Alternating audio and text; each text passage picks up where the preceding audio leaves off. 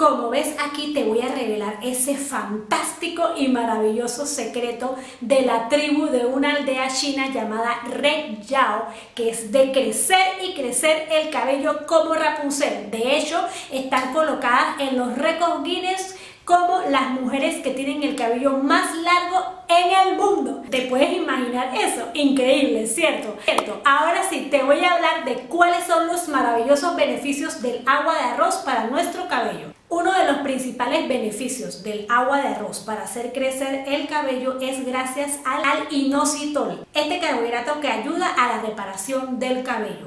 El inositol actúa en el cabello hasta después de haberse enjuagado, protegiéndolo de las agresiones externas como el sol, la manipulación diaria y la contaminación, y también de los daños químicos actuando como una barrera protectora si tú que me estás viendo y deseas tener el cabello más largo, fuerte y saludable y estás pensando en pasarte al lado curly, también te vas a poder beneficiar de estos maravillosos e increíbles resultados del agua de arroz en tus cutículas y en tu cuero cabelludo.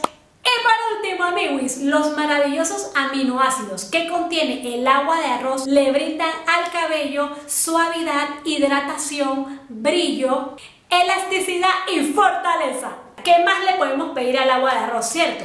Quédate por favor hasta el final del video porque ahora te voy a ir contando cómo me fue, todos esos datitos y al final del video te voy a dar mis impresiones para que tú también lo puedas utilizar en casa y sacarle el máximo provecho. Aquí abajito en la cajita de información te voy a dejar todo el link con un post súper completo en mi blog donde hablo más a detalle, ¿ok? Pongámonos manitos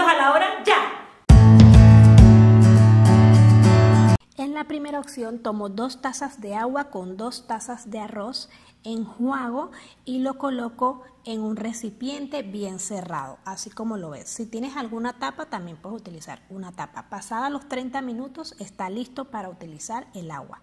En la segunda parte, lo que voy a hacer es que coloco el agua de arroz y lo dejo fermentar cerrado previamente por 24 horas hasta que esté como avinagrado y lo utilizo para el día siguiente como tónico. Y como última opción está utilizar el agua de arroz dos tazas de agua por dos tazas de arroz y lo vamos a dejar hervir por un periodo de 5 minutos. Luego de eso retiramos el agua, esperamos hasta que esté frío y podemos colocar como tónico. Cualquiera de estas tres formas se puede dejar en el refrigerador por dos semanas. Ahora te voy a contar cuál es mi forma preferida y cuál es la que funciona, ¿vale? Hola, y aquí les muestro la fecha que es lunes 30 de julio. Hoy es el último día utilizando la maravillosa agua de arroz. Ha sido fantástica. Me dejó el cabello súper suave. Sequé con el secador. Me ha encantado el resultado, amigos. Miren esto. ¿Qué? Vamos a terminar esta reseña. El primer día, amigos, yo agarré el agua de arroz, lo apliqué unos minutos y lo enjuagué. El cabello quedó súper suave, manejable, brillante. Me encantó cómo se sentía la suavidad de mi cabello.